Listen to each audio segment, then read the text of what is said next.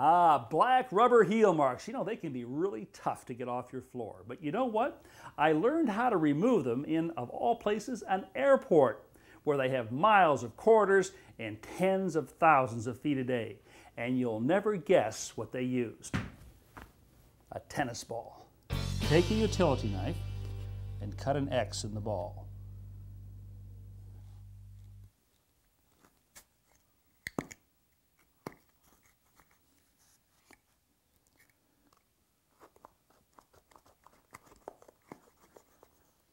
Then take a broomstick, push the tennis ball on the end, and you have got a black mark eraser extraordinaire.